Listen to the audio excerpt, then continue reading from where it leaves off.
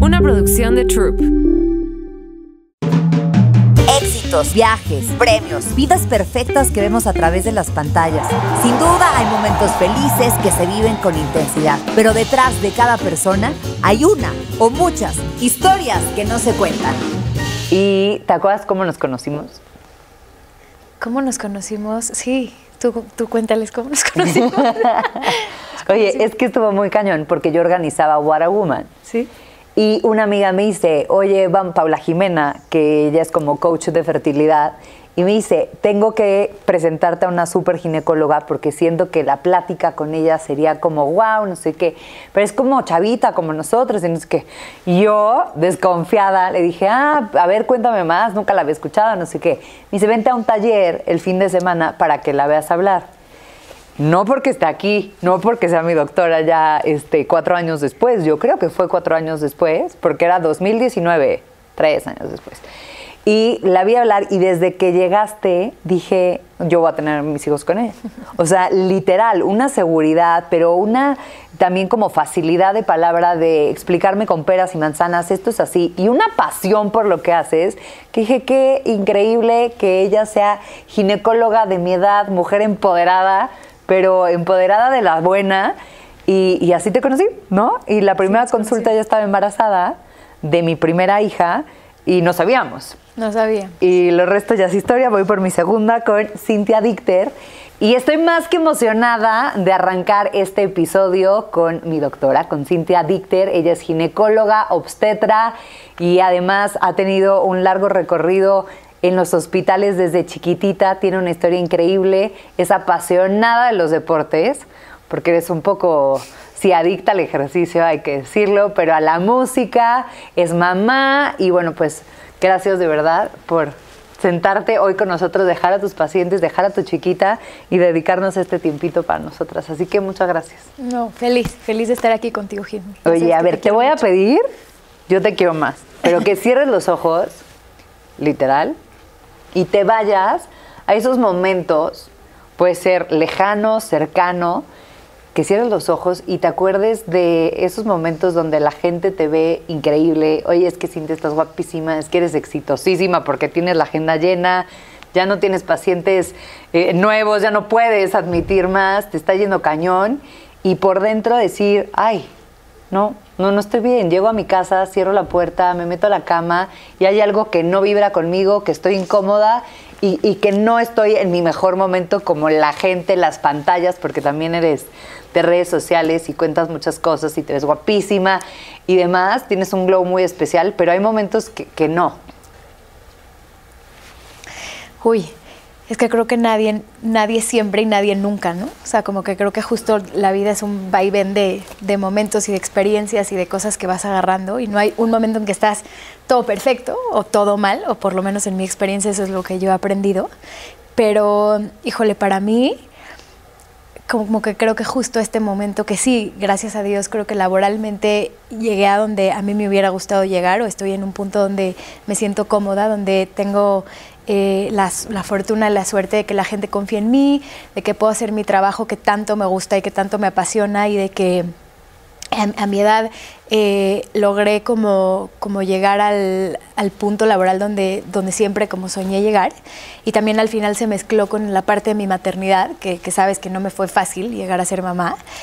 Y es difícil de repente decir como, híjole, ¿no? Trabajaste tanto tiempo y tantos años para poder llegar a algo, pero también soñaste toda la vida con tener un bebé y es, es un punto como, ¿dónde está el punto medio en donde dónde eres suficientemente ginecóloga y dónde eres suficientemente mamá, ¿no? Y cuál es el balance perfecto y quién indica que lo estás haciendo bien o que lo estás haciendo mal o cuando te estás pasando de un lado o de otro. Sí, como que el balance y el mito de la supermujer, de que queremos tener todo. No, y, y justo, justo esto que estás diciendo de como de, de, lo fácil que es como ver la vida de la gente afuera, como no, claro, qué padre.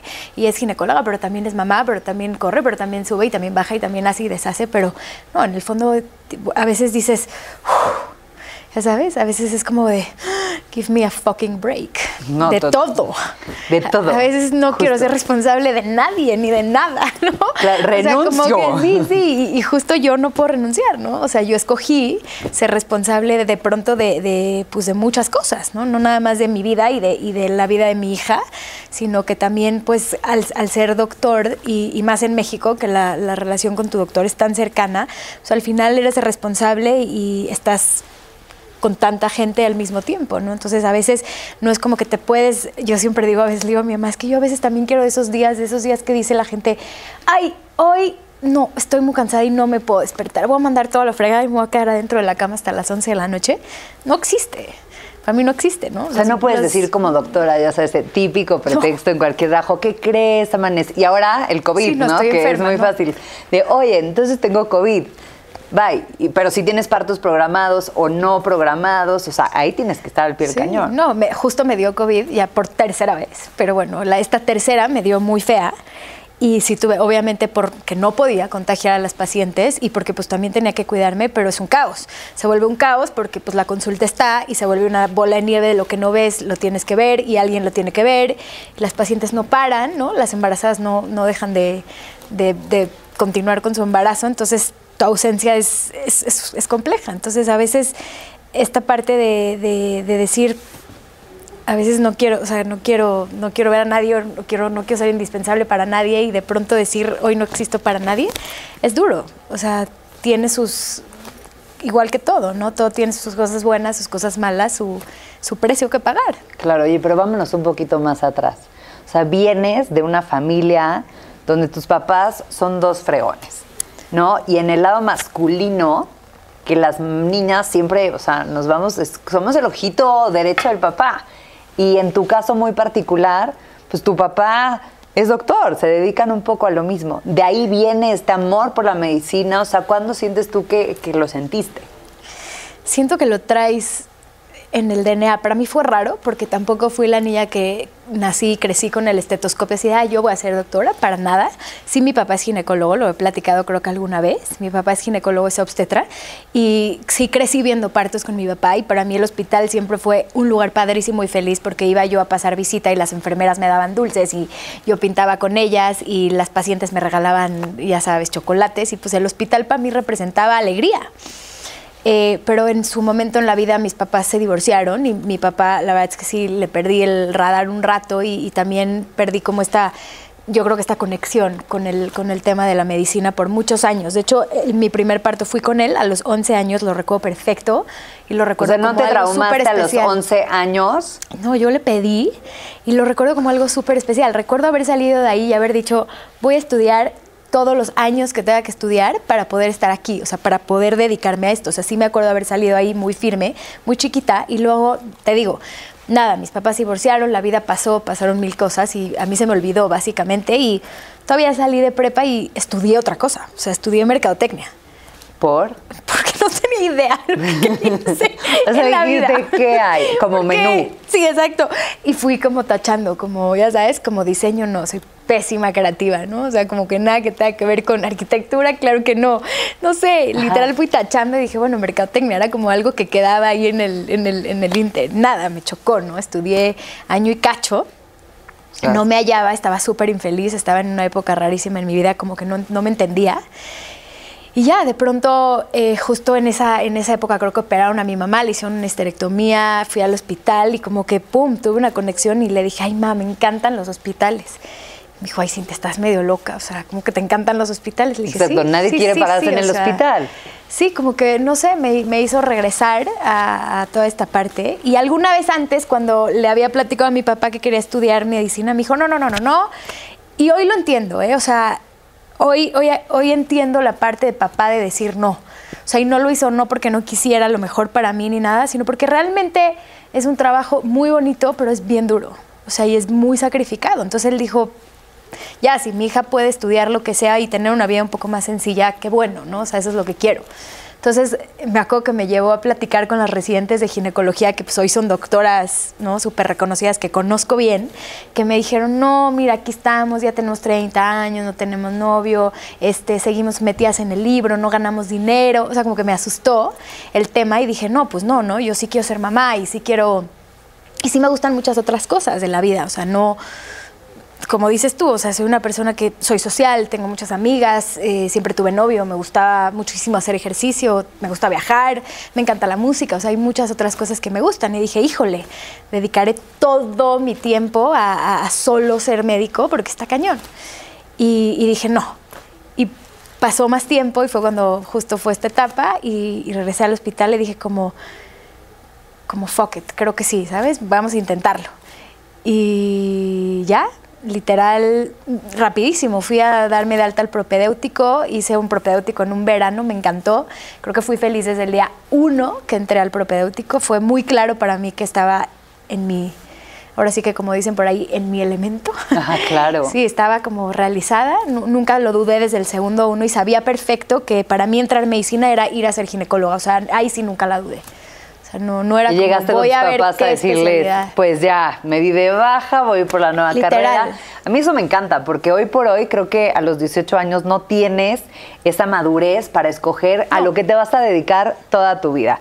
Y hoy por hoy el mundo como está, todos tenemos que trabajar, o sea, bueno, las que, los que no, las que no, está bien, pero creo que el reto está, está cañón, está duro, la competencia, cada vez hay menos oportunidades, eh, hay que buscarlas, hay que salir a pelearlas, y en tu caso, o sea, creo que... No, y tenía 19 años cuando entré a medicina y ya me sentía viejita, como que ya había perdido un año y medio. no, pero nunca es tarde, o sea, claro que no, y aunque tengas 30 y digas, chin, o sea, lo que siempre quise en mi vida fue ser abogada, vas. Sí, no, eh, siempre platico con mi esposo que al final esta, yo creo que tuve mucha suerte porque yo sí me dedico a algo que, me fascina y que me apasiona y esta parte de cuando estás haciendo algo que te encanta no lo sientes como un trabajo real, es verdad. O sea, yo cuando estoy cuando estoy en un trabajo de parto, cuando estoy operando, cuando estoy teniendo esta conexión, este one-on-one en la consulta con las pacientes, genuinamente lo disfruto. O sea, tanto que, que me puedo perder ahí horas y horas y no, no me pesa, ¿no? O sea, cuando, cuando escogí hacer gineco, que son cuatro años con, con guardias cada tercer día por cuatro años, que para mucha gente sería un no-brainer de no tener fines de semana, de no tener, o sea, de renunciar a muchas cosas sociales, realmente no, lo volvería a hacer mil veces. O sea, para mí la especialidad fue como, ok, y siento que también tuve como como esta capacidad de, de, no dejar tampoco la otra parte. O sea, creo que siempre igual, digo, siempre tuve novio, me casé con mi esposo antes de entrar a la especialidad, siempre seguí viendo a mis amigas. Y no te la armaba así de que otra vez, no, porque también siento que la pareja es, todo. es muy importante, sobre todo en estas decisiones, o para arriba, ¿no? De que te impulsa, o te dice, sabes que ya, se acabó con tus jueguitos, ya no. Fíjate que él cuando escogí que sí entraba a hacer la especialidad de gineco, me dijo, no podrías escoger otra cosa más light, o sea, no podría ser oftalmóloga, no podría ser otorrino, mira, piensa nuestro estilo de vida. Y sí lo pensé y le dije, es que mira, creo que si escojo otra cosa, no voy a ser feliz. Y creo que si al final no soy y lo hago por ti, creo que a la larga te voy a acabar odiando, nos vamos a acabar divorciando y esto va a tronar porque yo escogí algo que no era para mí por ti. O sea, fue una plática. Y le dije, esta es mi decisión, voy a ser ginecóloga, you're in or you're out. Y me dijo a mí, o sea, y desde ese día no ha habido, en verdad, un solo reclamo, uno solo, o sea, yo estoy aquí, de verdad, eso de que gracias, o sea, de que atrás de cada hombre hay una gran mujer, perdón, pero atrás de cada gran mujer hay un mega hombre, o sea, si no fuera por el apoyo y por la, y por la constancia y por, por el entendimiento de mi esposo, claramente no estaría aquí ha sido una pareja espectacular que ha entendido absolutamente todo cómo funciona, cómo es, por qué, que no me ha exigido demasiado, que no me ha... No, siento que no nos ha permeado, sino que nos ha fortalecido como pareja. Obviamente hemos tenido cosas durísimas. Claro. Como y en obviamente, todos lados. O sea, y obviamente si no es, no es, no es la vida más fácil, ¿no? Casarte con una ginecóloga es una patada. Pero... Entonces te iba a decir, porque a ver, hay dos cosas. La primera es que hoy por hoy también tenemos como esos mitos o esos tabús de si la mujer es más fuerte, si la mujer brilla más que el hombre, ¿no? Como que mejor apágate un poquito, ¿no? Y ahora yo siempre les digo a mis amigas o no sé, gente con la que neteo de, güey, jamás te achiques, al revés, para arriba, para arriba. Pero sí hay veces, y hoy por hoy todavía, y sobre todo en México, hay que decirlo, hay muchos hombres que sí se hacen chiquitos cuando ven a una mujer brillando, talentosa, que está chavita, que está guapa, pero que le está yendo súper bien, tanto eh, profesionalmente, físicamente, económicamente, que es tu caso. Y creo que lejos de él sentirse opacado, porque lo conozco, o sea, hacen un gran equipo, ¿no? O sea, creo que eres un claro ejemplo de que puedes ser una gran mujer en todos los sentidos, de brillar en todos los sentidos y tener un muy buen compañero de vida. Yo, gracias a Dios, creo que él es mucho más elevado como espiritualmente y, emocionalmente que, yo y que mucha gente y mi brillo lejos de, de hacerlo sentir chiquito como que al revés, me empuja para que yo como explote todo lo que tenga que explotar. Al final somos un equipo y lo, lo mío es de los dos, ¿sabes? O sea, siento que él siempre ha tenido esta visión que, que nos hace fuertes y nos hace grandes. Al revés, yo a veces le tengo que decir... Te bajas. Ya no puedo, ya sabes. Dame chance. Sí, sí, sí. Porque él, él, él, él, es, él, él es mucho quien me ayuda en toda la parte administración del consultorio, él fue el que me empujó a hacer las redes, las, mis, mis, mis redes que han sido tan controversiales para muchas cosas y, y, lo que ha dado love and hate, ¿no? Al mismo tiempo en, en, mi persona que, que, pues tú sabes, ¿no? Al final puedes ver la parte padre, pero también, chance hoy, un poco de años después, y sé que me faltan muchos años y que me voy a volver todavía más fuerte y más resiliente y, que voy a cambiar en muchas cosas, pero siento que como que en la vida a mí me ha tocado aprender rapidísimo, en todo, no sé cómo explicarte, ha sido como, no tuve una infancia tan fácil, o sea, como que he tenido una vida más, no tan, no tan ligera como la gente pensaría, o sea, he tenido que aprender cosas duras bien chica, igual me pasó también como la parte laboral, o sea, como que de repente he tenido que aprender de, de, de o sea, como que he tenido muchas experiencias en muy poco tiempo. Y eso me ha tenido que hacer fuerte, porque así como hay gente que le da mucho gusto tu éxito, también hay mucha gente que no, no. Desafortunadamente estamos en un punto en donde es bien fácil criticar y es bien fácil es bien fácil como, como es que ella hizo o, eso no es medicina o ella tiene redes o ya sabes o como ver lo malo del otro y pues vas vas haciéndote quien eres y te vas poniendo capas de como este caparazón para como continuar y sobre todo ir cada vez más profundo en, en ti, ¿no? Como en lo que tú eres, en tu persona, en, en qué te hace mejor a ti como persona, como mamá, como esposa, como mujer, como ginecóloga. Y al final, ¿en qué te hace feliz? Justo, ¿qué es el éxito para ti? Sí, sí, porque estábamos Jimmy y yo tomándonos un café antes de empezar la entrevista. Le dije, ¿qué me vas a preguntar? ¿Me vas a atacar durísimo?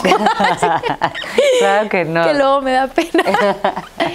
Pero, no sé, justo me agarraste en un momento donde he estado muy pensativa y siempre he tenido como este camino, o sea, como tratar de tener un camino espiritual porque al final todo lo demás pues se va a quedar, ¿no? O sea, lo que generes y, y, lo que los demás opinen de ti, creo que lo más importante es lo que haces en tu casa, lo sólido que dejas con tu pareja, con tus hijos, el tiempo que pasas con tu gente y, y este despertar de qué quieres, qué te hace feliz. Tener miles de pacientes, tener miles de followers, o sea, ¿qué es lo que quieres en la vida? ¿Qué es lo que realmente te llena? Qué fuerte. Porque siento que, como bien dices, o sea, has tenido que madurar. A la mala no, porque yo creo que te ha dejado mucho, o sea, para bien, ¿no? Muy positivo. Pero romper esos moldes, romper esos esquemas, donde a lo mejor también vienes de una comunidad, porque es judía, que son muy cerrados, que son muy ortodoxos, que son muy este, a la antigüita, por así decirlo, y de repente llega una mujer que tiene ganas, que tiene esa pasión que se salta y rompe estereotipos y que ahora es ginecóloga, pero es mamá y como bien decías, también tu esposo, o sea, ¿qué pasa cuando te marcan a las 5 de la mañana? Le dices, bueno, adiós, bye, o sea, dejar encargada a la niña, pero ahí se ven y llegas, te desconectas y a mí sí me impresionó en mi parto cómo te transformas. O sea, que a mí me pasa con las cámaras y con el micrófono. Sí te pasa. ¿No? O sea, a ti en el quirófano, o sea, eres otra, pero entonces súper minuciosa y entonces la música, entonces te desconecta. Y yo dije, qué chingona. Lo van a escuchar mis papás, me van a regañar, pero de verdad qué fregona vieja la que está aquí, que está conectada, que trae a todos en sintonía, ¿sabes? Que toma el control y que se la cree, porque las mujeres hay veces que el último, que es lo más importante, creérnosla, es lo más difícil. O sea, ¿qué es eso que a ti te mueve, que dices sí a todo, sí voy para adelante? O sea, ¿qué es tu fuerza? No, sí es difícil. O sea, qué bueno que tú me veas así, te lo agradezco, ya sabes, No, porque a veces real. no es fácil y más que, o sea, mido menos de 1,60, ya sabes, Yo tengo también. cara de bebé y a veces te juro, los primeros partos que yo atendía, no sé si te ha pasado este como síndrome del impostor, que decía, híjole, esta ya es paciente mía, oficial, ¿no? En el pizarrón dice, doctora Cintia Dicter, es mía, es mía, ya sabes, Sí, sí, como sí. ya no soy residente, esta paciente me escogió y yo le voy a atender el parto, ya sabes, como estos primeros partos que iba y lo atendía y ya llegaba como con los papás, todavía no empezaba la pandemia ni nada, y era como de, hola, buenos días, yo soy la doctora, y se volteaban como los, pa- los, los papás, ¿no? Sí, De- sí, O sea, los abuelos así como de, ¿Tú eres? ya sabes, y yo en cara lavada, ¿no? Sí, con, les digo, soy miniatura y como... ¿Y es tu doctora? ¿Ya sabes? claro. Y no soy todo menos el señor de 1,80, ¿no? Barbón gordito, que, que, que al final genera mucha confianza. Soy todo, soy una midget flaquita, ya sabes. O sea, bueno, según yo. No, no, no, sí, tal cual, literal. O sea, O te sea, ves que al más final me veo como una niña, entonces de repente era como de, sí, yo soy la doctora, ya sabes. Sí, y sí, eso al sí. principio era como del síndrome del impostor durísimo, ¿no? Y tú puedes, y puedes operar, y puedes, ¿no? Y al principio también vengo de una comunidad cerrada. Recuerdo mucho alguna vez una amiga, que no lo hacen por mala onda, pero cuando yo estaba estudiando medicina, como, ¿y tú vas a ser ginecóloga para dar pastillas y esas cosas? O sea, porque digo, las mujeres no operan, ¿no? O sea, como cosas así que dices Ajá. así de... toing. Ajá. Sí, o sea, como O sea, que no todavía es a un parto, tabú cultural, o sea, si puedes o no. Y nada, al final como que siento que sí, sí, sí, sí, soy, soy esta persona físicamente, pero igual puedo, igual... eh, No, y en el gremio también, capaz porque y- luego la experiencia, ¿no? Es como cuántos, o sea, yo tengo amigas también que es de, oye, pero ¿cuántas operaciones lleva? Cuando me iban a operar de las hernias, ¿cuántas operaciones ya, ya investigaste? Y yo así como, no, ¿sabes? O sea, como que yo soy muy de vibras, de conectar, de Sí. decir si me da confianza o no me da confianza. Me da igual que lleve, eh, no sé, toda la vida y que sea un doctor de renombre que a lo mejor hasta le da más flojera. Cuando veo a alguien que me escucha, que me entiende, que me acompaña, o sea, creo que ese es tu gran Yo creo que hay de diferenciador. todo, o sea, yo también he aprendido muy bien y he entendido como que ya no me ofendo, ¿no? O sea, como que si hay gente que dice, no, yo no voy a ir con ella porque está muy chavita o porque le faltan años de experiencia. Al principio decía como, o sea, me ardía, ya sabes, como decía, pero es que sí soy buena, ya sabes. Y luego digo como, no, cada quien necesita algo distinto. Hay gente que se siente en confianza con, con la voz de la experiencia, que un día yo voy a hacer esa, o sea, en unos 40 años o 30 años yo voy a ser la voz de la experiencia cuando llegue a ese punto en mi vida.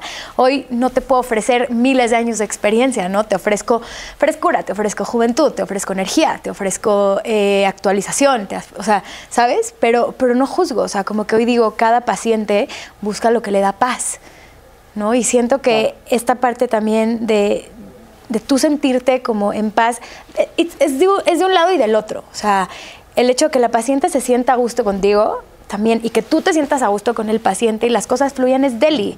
Cuando una paciente no confía en ti, no está seguro, está dudando porque eres mujer, porque estás joven, por, güey, por lo que tú quieras, es como de, please vete. O sea, hay 200 otros doctores y no pasa absolutamente nada. O sea, donde tú te sientas en paz, donde las cosas vibren bonito, ahí es donde siento que tienes que estar. ¿Cuál ha sido tu momento más feliz dentro del Uy, hospital? ¿Más feliz? Shit. ¿Más feliz? Uy, he tenido muchos. Me gusta mucho, de verdad. A ver, o sea, tú sabes, la, la energía de un nacimiento es bien fuerte. O sea, más cuando ¿No te tiemblan las manitas, o sea, las patitas de decir, ay, caray? O sea, porque yo me puedo equivocar y lo editamos y ya no pasa nada. O me humillé como me pasó en Televisa tirando un trofeo. O sea, ¿sabes? Que, o sea, fue como, qué estúpida conductora. Pero aquí no la puedes regar. No, también, a ver, you're only human at the end of the day y también hay veces, y también lo he tenido que aprender, hay también, hay cosas que se complican. O sea, por más bien que tú lo hagas o por más bueno que tú seas, eres doctor y eres ser humano y hay cosas que no están dentro de nuestras manos y hay pacientes que se pueden llegar a complicar y aunque todo a veces es, es, una profesión que espera puras cosas positivas y puras cosas bonitas, también hay cosas que no son así, ¿no? O sea, también hay abortos, también hay complicaciones, también hay cosas, cosas duras y de eso también tienes que aprender, ver qué hubieras hecho diferente, cómo lo hubieras mejorado, eh, ser humano para cuando, o sea, estar ahí cuando las cosas no, no son como, como el paciente esperaría. Eh, o sea, como que no todo es miel sobre hojuelas. Claramente, aunque sea no la profesión, bueno, dentro de la medicina no es oncólogo, no, es cardiólogo. Es una profesión o sea, muy gratificante. claro. Porque la mayoría de las veces es, estás dando vida, estás resolviendo algo para dar vida o estás ayudando a las mujeres en etapas de su vida a estar lo más óptimas posibles, o sea, desde la paciente que llega por un trastorno hormonal hasta la menopáusica, ¿no? Al final les estás ayudando hacia algo positivo, o sea, es, generalmente ves pacientes sanas. Eso es algo padre, ¿no? Eso es algo que yo escogí. Chance no tendría yo, yo sintiera el corazón de, de, de estar tanto rodeada de la enfermedad y de cosas difíciles porque creo que me permearía. O sea, no, hoy todavía no encuentro la capacidad para separar muy bien mi vida y la vida de mis pacientes. O sea, ahí me falta callo, siento. No, eso te voy a decir. Yo creo que es uno de tus grandes defectos, pero tu mejor cualidad. Ya sabes, no, sí, porque es impresionante, lo hemos comentado entre pacientes, amigas y demás, que tú te sientes como si tú tuvieras todo el tiempo para una, ¿sabes? Y sales y el consultorio está lleno y tú dices, no, pues, este, perdón, que pena, pero a mí me dedicaste mi hora completa o una hora y media, o sea, lo que yo necesitaba en ese momento y te olvidas de todo lo demás, o sea, el conectar, el estar encima, el contestar un mensaje, como tú dices, porque hay muchas culturas y muchos países que no pasa eso ni de casualidad, o aquí en México también, mándame un mail, aunque lo estés pasando mal. Entonces creo que eso te hace como muchísimo más humana. Te fuiste a una rama de parto humanizado que también yo creo que es muy bonito y suena lindo, pero que también hay muchas mujeres que no lo pueden conseguir, ¿no? Porque tiene que ser cesárea y el esto, y entonces ir luchando con las creencias, o a veces también estamos bien locas las mujeres de, no, pero la golden hour, pero el de este, pero el otro, tantas, tanta información que hay hoy, y creo que el ser amiga, ser doctora, o sea, ¿cómo le haces para no engancharte, que no te afecten esos problemas de tus pacientes a ti? Híjole, me encantaría decirte que no me afectan. He ahí el tema. ¿Te afectan? Sí, sí, sí te afectan. O sea, sí, y, creo que con el tiempo vas, vas tratando de aprender a separar y lo vas haciendo mejor. Creo que hay un punto donde creo que puedes no perder la empatía y la humanidad de de vivir el dolor ajeno o la emoción ajena o lo que sea, pero de, entender que al final no puedes vivir a través de, las demás personas. No estoy ahí, te digo, lo estoy trabajando. Porque creo que es importante para también mi vida personal. Porque si no, no hay fin.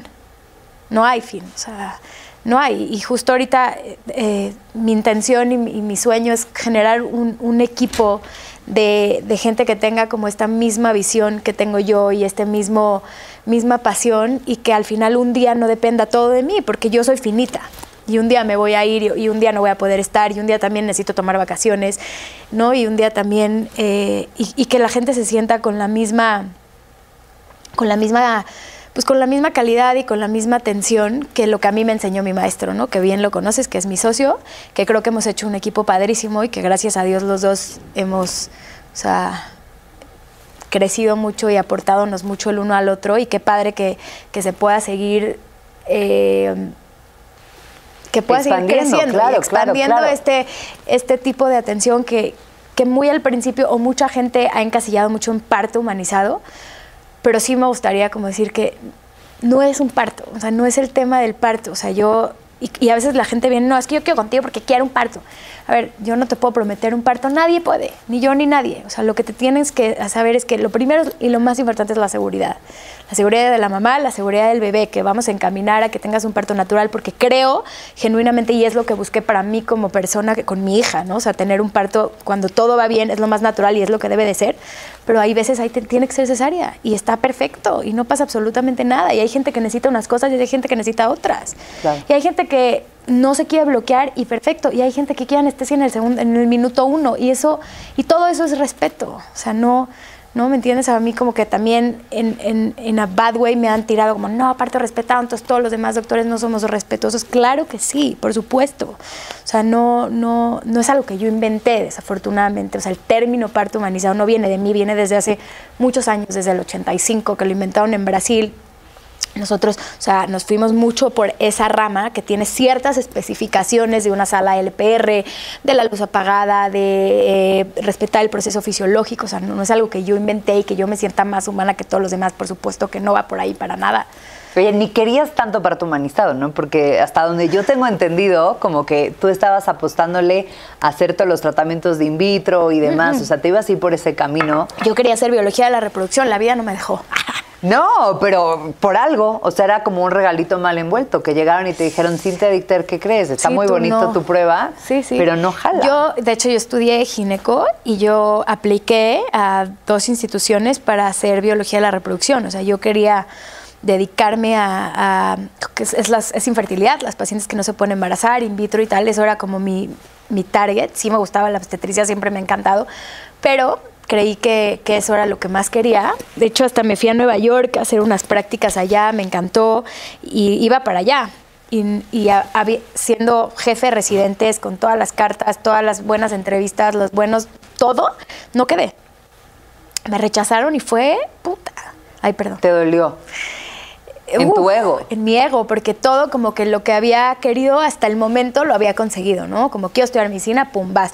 Quiero eh, entrar a pasar el ENARM, a pesar de unas circunstancias de vida súper complicadas, lo logré. Quiero lograr, quiero ser la mejor de la residencia y ser jefe de residentes, tómala. ¿ok? O sea, como que todo iba encaminado y de repente fue como no, no, no.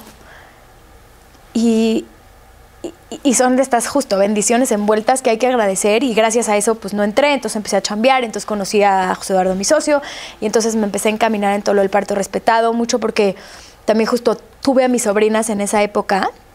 Mi hermana tuvo a sus, a sus hijas en, en esta, en toda la parte, o sea, en toda la onda de parto respetado y fue ahí donde me empecé a, meter y empapar y entender. Eh, mucho siempre guiada por la voz de mi hermana, que también es alguien bien importante en mi vida, que siempre como que es Pepe Grillo aquí atrás, ¿no? Diciendo por acá, por acá, y es la guía de todos, atrás de todos. Ajá. Y, dije como, como, ok, esto me tocó y, así se dio y pues nada, siempre se quedará como algo, y me encanta la reproducción, siempre, o sea, lo que puedo hacer desde mi trinchera, desde la parte natural, desde la parte de baja complejidad lo hago y no me tocó dedicarme a eso y estoy feliz, o sea, no, está realizada, o sea, como doctora, en ese plano profesional, ¿no? Hay que decirlo. En el plano personal, uno de tus más grandes sueños era convertirte en mamá. Sí. Y la vida te iba diciendo, ¿sabes qué, Cintia? Todavía no, todavía no, todavía no. Y a mí me pasaba que yo decía, qué duro, o sea, trataba de meterme, o sea, de sentir cómo te podrías sentir tú en el decir, oye, todos los días ves bebitos, todos los días ves parejas que por fin ya lo consiguieron. Y el verlo tan cercano y tan lejano, ¿cómo te costó? ¿Cómo lo manejaste? Sí estuvo horrible. Sí estuvo fuerte. Me costó tiempo, fue como dos años y cacho. Nunca me imaginé que yo iba a tener un problema para embarazarme. La verdad es que nunca pensé que a mí me iba a costar trabajo ser mamá porque vengo de una familia de conejas, casi que todas se han embarazado súper fácil cuando han querido. Y nunca pensé. Y primero pospuse porque ginecóloga. Y porque te empiezas a enganchar con el trabajo y te empieza a ir bien y no sé qué, entonces tantito más, tantito más, tantito más y no pasa nada y yo no me voy a tardar y tan, tan, tan y pum, pum, pum. Entonces cuando te das cuenta, de repente ya tenía treinta y pico y, y, pues órale, apenas voy a empezar a intentarlo y lo empiezo a intentar y no, y no me pega y luego pierdo el primero y luego pandemia y luego vuelvo a perder otro bebé y fue ahí donde dije, ¿qué está pasando? O sea, como que... sabiendo, porque tienes toda la información. Sí, qué chistoso, pero además sí tuve señales evidentes de lo que yo tenía. Yo tengo un problema en la sangre que se llaman trombofilias y como que justo en mí no lo pude ver. O sea, está cañón. Eh, al final eh, me diagnosticaron con trombofilias y después de dos pérdidas y pues, un rato de intentarlo me, me, embaracé otra vez. Gracias a Dios me, me pude embarazar bien. Tuve un embarazo súper difícil de alto riesgo, me ganó pues creo que el estrés y la chamba y en la semana 26 me tuvieron que hospitalizar unos días porque empecé con contracciones súper antes de tiempo, muy peligroso las semanas que tenía mi bebé. Me encamaron, estuve dos meses y medio, casi más tiempo, en reposo absoluto y fue como esta señal de la vida de párale. O sea, párale y deja todo, y todo así, pum, y, y acuéstate porque pues o tu bebé o... Y yo tenía como esta imagen de mí de trabajando hasta el último momento y atendiendo partos hasta el último segundo y, y no es verdad, la vida siempre tiene un plan y siempre tiene siempre tiene algo más grande que decir y por dónde decir. Entonces no me quedo de otra más que sentarme, aprender a tejer, literal, aprender de la paciencia y de, y de la... Y, no, aprendí mil cosas. O sea, dije, Dios mío, ¿qué va a pasar? Mis pacientes, mi esfuerzo, mi tiempo, mi todo, se va a ir toda la fregada, ¿qué va a pasar? De verdad, tu mente... Ahora sí que universo te la estás volando, ¿no? Sí, sí la mente es súper ruda. Y al final, lo más importante, pues el pánico que tenía de tener un bebé tan prematuro. Entonces, la vez que tuve una súper linda red de apoyo, eh, por lo cual siempre estaré agradecida de tener el, equipo de trabajo que tengo, que José quedó con todas mis pacientes. Y nada, gracias a Dios llegué casi al final del embarazo, llegué a la semana 37 con una restricción del crecimiento, o sea, viví todo, literal, llegué con una restricción del crecimiento importante, mi bebé estaba súper chiquita, me tuvieron que inducir en la semana 37 y luego, bueno, me premiaron con el parto de mis sueños. Tuve el parto que yo, que, tanto me esfuerzo para que, para que la gente tenga y viva, eh, como yo lo quería, en la sala del LPR con mi pelota, en la regadera, eh, como yo quería. Este, tuve un parto vaginal muy lindo, gracias a Dios, perfecto, mi bebé bien. Y pues nada, ya va a cumplir, tiene 10 meses. Que es impresionante, ¿no? Pero cómo le, o sea, hoy por hoy vemos el happy ending de, que Mila ya está contigo y que eres una mamá feliz y que tienes una bebita preciosa, sana, fuerte. Pero en esos momentos donde no hay certeza, porque hoy por hoy veo y me escriben y con cariño siempre las leo de verdad, el que cómo te embarazaste, pero no, o sea, hay mujeres que de repente, tras, ya estoy embarazada, listo. Y hay mujeres que de verdad es un tema y sobre todo es un tabú. El decir, no, es que no me puedo, como, como si fuera algo malo, o sea, como si tú hicieras algo malo y dices, pues no, no tiene nada que ver, o sea, ¿crees que tiene que ver con la genética? ¿Tiene que ver con el estrés que estamos viviendo diario, con la alimentación? ¿O qué es lo que está pasando que hoy, por, o que se habla más del tema también? Hay un buen de factores, o sea, creo que el factor número uno es que ya no nos embarazamos a los 23, 24 años, ¿no? Estamos buscando bebés a los 30 años porque somos profesionistas, porque somos doctoras, porque tenemos una, una carrera importante y porque ya no nos embarazamos a la edad que nos embarazábamos. Creo que ese es el factor fisiológico más importante claro, el estrés, la alimentación, factores genéticos, o sea, cada quien tiene, es un universo de cosas y de, y de, y de factores diferentes que, que pueden haber y, pues sí, creo que hoy la infertilidad es, está bien presente. Afortunadamente también creo que tenemos especialistas espectaculares en México que se dedican a, a justo todo el tema de infertilidad y ginecólogos espectaculares que saben detectar a tiempo cuando va a haber un problema y cómo guiar a la gente y también la ciencia. O sea, hoy en día realmente la ciencia ha avanzado hasta un punto bien... Sí, sí, sí, sí, sí.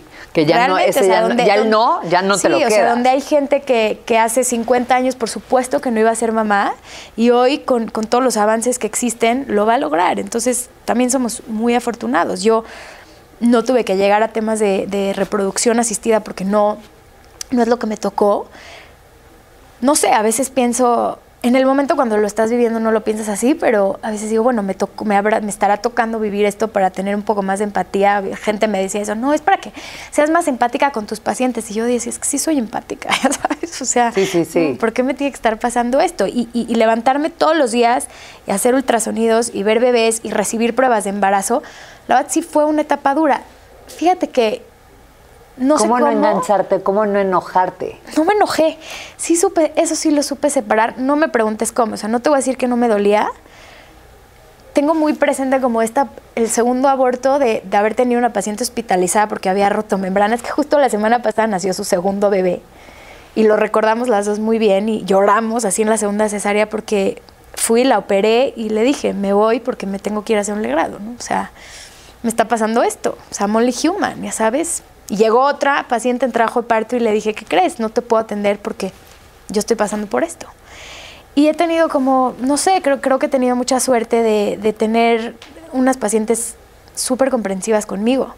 Esta parte de ser mujer y saber lo que es querer ser mamá y estar pasando por un proceso y, y ser entendidas con lo que el otro está viviendo, sentí muchísimo cariño, muchísimo apoyo. No lo hablé, en su momento no platicaba con ustedes ni con ninguna de mis pacientes lo que estaba pasando conmigo porque siento que es algo que no, no tenían por qué o sea, no era algo que tenía que compartir, no estaba lista y no era algo que quería que sintieran lástima por mí o que dejaran de compartir sus alegrías conmigo por lo que a mí me estaba pasando.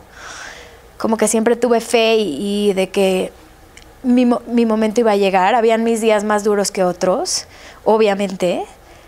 Pero sí, de repente era como de un bebé y otro bebé y yo así. No sé si O sea, llegó un estuvo- momento que pensaste, pues a lo mejor todos estos bebitos los voy a recibir, ya tengo a mis sobrinas, Sí no va a ser mamá. No, sí, o sea, sí, o sea, lo, a, lo, a lo más lejos que se fue mi cabeza fue a que mi hermana fuera mi surrogate. Eso fue lo más lejos que se fue mi cabeza. O sea, es que el vientre alquilado, ¿no? Sí. Pero que sería como tu hermana, que en O sea, Estados Unidos como es muy que, común. bueno, si por algo no lo logra mi cuerpo, que no tendría por qué. Eso fue, al, fue a donde, al lugar más extremo donde se fue mi cabeza. Pero nada, una vez que me hicieron el diagnóstico, la verdad es que ya hay muchísima gente que tiene lo que tengo yo. Y tengo muchísimas pacientes que lo tienen y gracias a Dios son mamás de más de un bebé y están perfectas. No, cada día yo me entero de más y más y más. Hasta en España creo que tiene otro nombre. Yo, ah, trombofilia, no sé qué. Me decían, no, no, no, ¿por qué sabes tanto? Digo, porque es muy común. O sea, solo que antes no se hablaba o no se detectaba a tiempo o eras la rara y no pasa absolutamente nada. Creo que al final del día, qué bueno que la ciencia, que la medicina está evolucionando para que puedas cumplir tus sueños, ¿no? Y además me pasaron mil cosas porque todo el mundo, no, y es que estás muy estresada, y es que trabajas mucho, y es que yo decía, shit, será mi culpa, y siguen pasando el tiempo y el, el reloj biológico sigue avanzando, y es una realidad de que nuestros ovarios tienen un tiempo, ¿no? Y, Claro. y- y no, no podemos ser fértiles eternamente y tenemos, una, tenemos un reloj, eso, eso es durísimo. Totalmente. Entonces, creo que puede ser pelirrojo y andar en bicicleta. O sea, hoy viéndolo en retrospectiva. Ok. O sea, como que sí creo que también el factor estrés afecta muchísimo. Por ahí el otro día una amiga me mandó, una amiga doctora que, que no estaba pudiendo embarazar tampoco, me mandó como un artículo, o sea, basado en ciencia, de cómo las doctoras sí tenemos este riesgo más alto de infertilidad y de problemas durante el embarazo solo por el estrés que vivimos laboralmente. O sea, está, es muy impresionante, o sea, no, no, no puedes minimizar, o sea, sí es, te digo, ahí ese es el, este es el precio que tienes que pagar. Claro. O sea, sí, qué padre, qué padre que soy doctora, qué padre, qué gratificante, qué padre traer bebés al mundo y, y me siento la más afortunada, pero claro que también permea en tu vida. O sea, no le quito que, que parte de lo que me pasó y parte del embarazo difícil que tuve es porque también el cuerpo dice, "Puf, espérame, ¿no? No puedo, no puedo con todo, o sea, dame chance. Oye, y por fin llega tu recompensa, tu chiquita, ¿no? Que está sana, que está increíble, que además está muy parecida a ti, si no es que idéntica, que es tu clon. ¿Y cómo te va de mamá? Porque también el combinar, el ser una mujer apasionada, acelerada, y de repente te frenan, pero además ya es una personita que depende 100% de ti. O sea, cómo te sienta la maternidad, cómo te reta, porque yo sí creo que hay veces que se vale decir, ya me quiero bajar, o sea, ya quiero renunciar. Y, y es normal. Sí, pero creo que hay muchas cosas que me gustan en la vida y siempre dije como, quiero ser mamá, pero no decía, lo que más quiero en la vida es ser mamá, ¿no? Porque siempre he sido como muy apasionada de muchas cosas. Sabía que quería ser mamá, pero no era como de lo único que quiero en mi vida es ser mamá. No era esta mujer. Ajá. No, bueno, o sea, ahorita es como.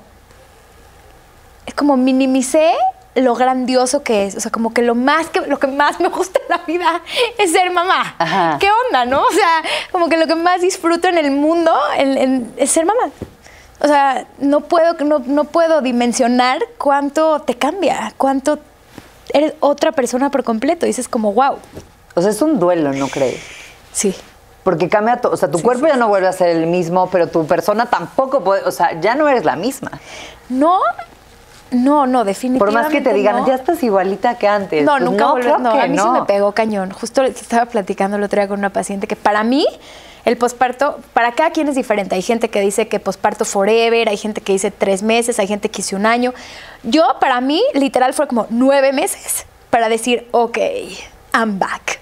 ¿Ya sabes? o sea, como no fue, para nada fueron seis semanas. Y luego yo digo, yo platicando con mis pacientes de cómo retomar su vida sexual seis semanas después de, después de tener un bebé, mi reina, eso nunca pasa. yo cuando me leíste de, no, mira, ve, te voy a dar este artículo, no, échatelo, yo decía, ok, a mí me sigue doliendo todo. Sí, no, me, que yo tengo el me sigue doliendo todo y, y mi energía está en el piso y no duermo y la lactancia es un full time job y todo lo que implica y no dormir y el duelo de esto, esta Cintia de me levanto, voy, hago ejercicio, voy a trabajar de 9 de la mañana a 8 de la noche y todavía me quedo tranquilamente con música haciendo notas porque ¿qué más da? Nadie me, o sea, mi esposo me espera, pero igual es workaholic y no pasa nada, así nos entendemos él y yo. Nadie depende de mí. Y ahora es como a las 2 de la tarde estoy dando consulta y ya me empieza así como a, les empieza a dar a vibrar el ojo de ya son las dos, tu bebé, ya sabes. Claro, claro. alguien te espera y quieres estar, quieres estar. O sea, no es una obligación, es como quiero estar ahí y quiero verla crecer y no me la quiero perder.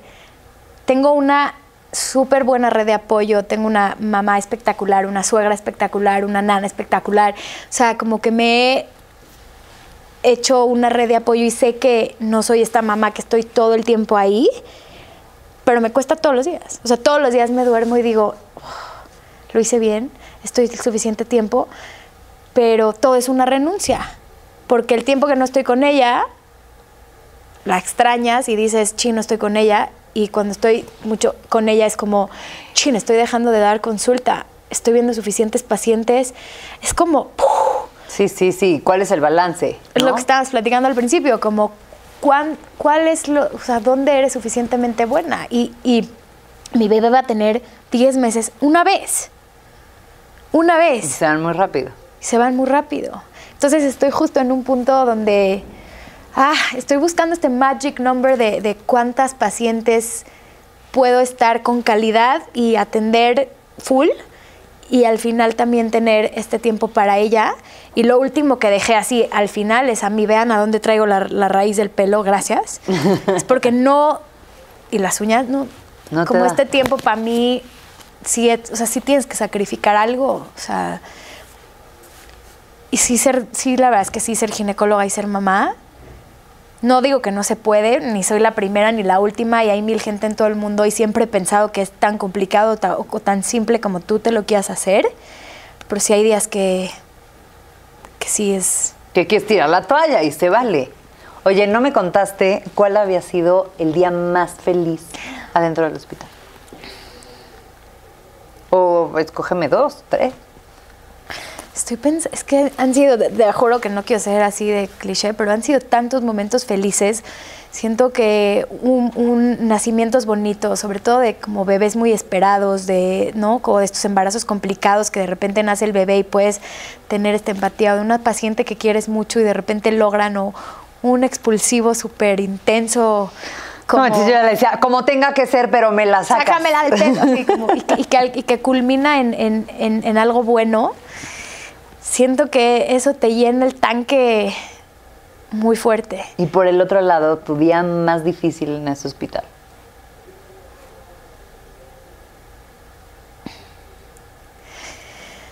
Uf. También han sido, también han sido varios, te juro. Te digo que es, es así. Pues sí, cuando sea complicado alguna paciente que sales y no sabes ni cómo te llamas, o sea, de que dices, chin, ¿en qué momento? Y, los momentos difíciles creo que te regresan a, la humildad.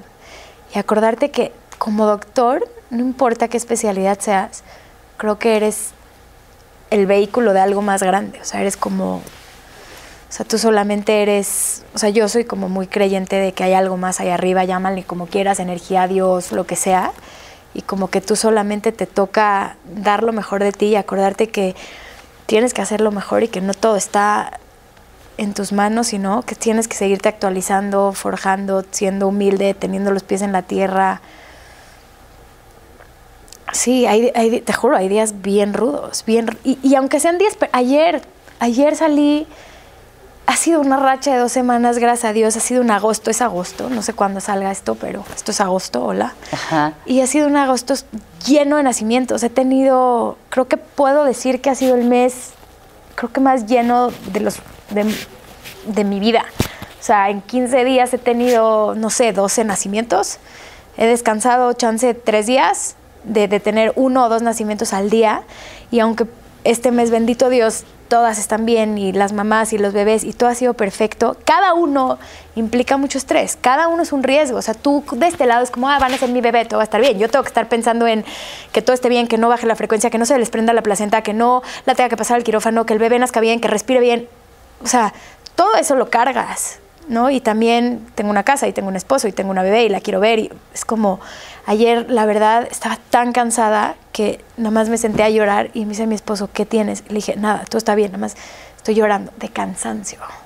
Necesito desfogarme de alguna manera. Ya corrí, ya hice yoga, ya este, también fui a terapia, o sea, ¿sabes? O sea, hago todo lo que humanamente puedes hacer para estar en tu centro, pero también a veces you're only human.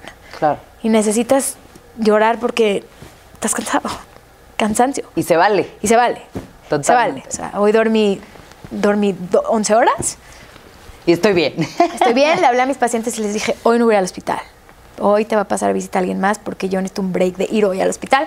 Voy a hacer una entrevista con Jimena. Oye, ya para voy a ir a ser terminar, mamá todo el día de hoy. Dime una cosa, o sea, ¿cómo te ves de aquí a cinco años? O sea, tanto profesional como personal. ¿Qué te falta?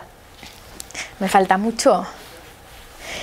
¿Qué? Me falta mu- o sea, me falta mucho. Todo el tiempo nos falta, todo el tiempo puede ser mejor, todo el tiempo hay mucho que aprender y mucho que mejorar. Me veo en cinco años con un bebé más o dos, no sé. Ándale. Ya se quedó grabado. Ay, sí, exacto, sí. No sé, o sea, un bebé más, primero Dios seguro, otro no sé. Eh, me veo, me veo con un bala, me veo, espero tener ya como un balance un poco más estructurado, o sea, no nada más como en un sueño tabú, sino como realmente esta estructura, es, es difícil la estructura en mi profesión porque es muy inesperado. O sea, los tiempos Sí, son claro. inesperados y los bebés nacen cuando quieren nacer, pero un poco más de estructura. Estoy como ahorita solidificando todo el tema del consultorio, de horarios, tiempos, consultas, todo eso, como un balance un poco más sólido y un poco más de soltar, chance de soltar, irme de vacaciones y realmente irme de vacaciones, irme, ¿no? Como me voy y chance de soltar un poco. Eh, esto, o sea, en este balance de, familia, familia y trabajo, me sigo viendo trabajando bastante. Me gusta, me encanta.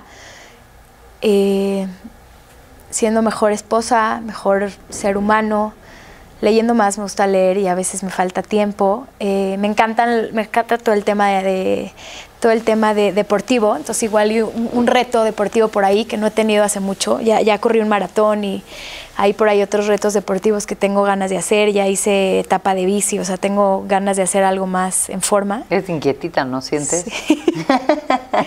Intensita, ¿no sientes? ¿Qué sientes tú que es lo peor de ti? Lo peor.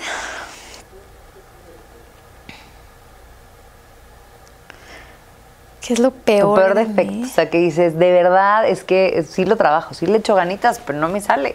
¿Qué crees? A veces soy explosiva, aunque no parezca. Aunque no parezca, lo controlo bien, o sea, he, he peleado como para controlarlo, pero una parte mía a veces, a veces puede ser impulsiva, ¿no? O explosiva. Ok. Y sí, eso he peleado, o sea, es parte como de mi rama familiar así, ¿no? Y como que siempre he peleado con, ahí voy, ahí voy. ¿Y lo mejor de ti? Soy bastante empática y bastante generosa. Yo creo que eso es lo que te hace muy especial. O sea, nunca se me va a olvidar ese momento en mi parto que yo ya no podía más. O sea, de verdad yo ya decía, estoy agotada, llevo 10 horas aquí. Ya le decía a Ricardo, a mi esposo, ¿sabes qué? Güey, como sea, pero que me la saquen ahorita. Yo ya no puedo más. O sea, con ganas de mentar la madre a la presente. Y de repente entraste y me dijiste, Jimena, ya estás aquí. O sea, veme a los ojos. Y yo, no, no, ya no puedo porque no sé qué. Porque ya estás en otro estado, ¿no? Estás en un trance Ya, ya, hormonal. ya, exacto. Y en eso me dijiste, ya estás aquí, ve por todo lo que has pasado, ya pasaste nueve meses, este es el resultado. siempre se los recuerdo a mis amigas y se los comparto con mucho cariño porque les digo, de verdad, si no hubieran estado esas palabras más, menos perfectas, no sé qué hubiera hecho, ¿sabes?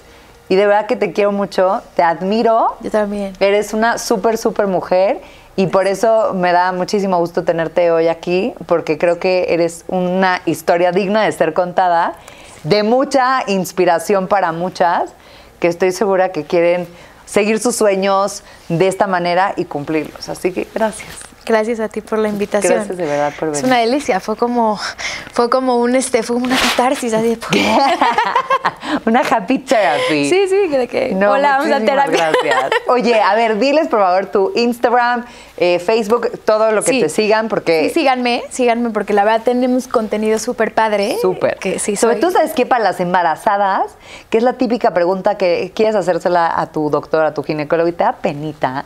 Tiene todos los temas, de verdad que vale mucho la pena. ¿En dónde? Instagram sobre todo es el fuerte, es doc- doctora como dra.cintiadicter, arroba, eh, no, no es arroba, ¿no? Doctora.cintiadicter, ya, Ajá. ese es el Instagram. Sí, sí, sí. Es igual la página, es igual Facebook, todo es todo está basado en mi nombre, Cintia Dicter, y ahí siempre estamos como generando contenido, que también ha sido una una sorpresa padre, porque he podido llegar a gente a la que nunca hubiera llegado y he podido creo que ayudar desde otra desde otro lugar, como desde otra desde otra de otra forma. No, me encanta y que te conozcan tal Sí. cual como eres, una reina. Gracias. Así que gracias por seguirnos. Acuérdense de suscribirse, de ponerle like si les gustó, de compartirlo y nos vemos en la próxima. Ya saben que a mí me encuentran en Jimena Álvarez M. Ahí estoy súper pendiente de contestarles todos sus mensajes. Nos vemos en la próxima.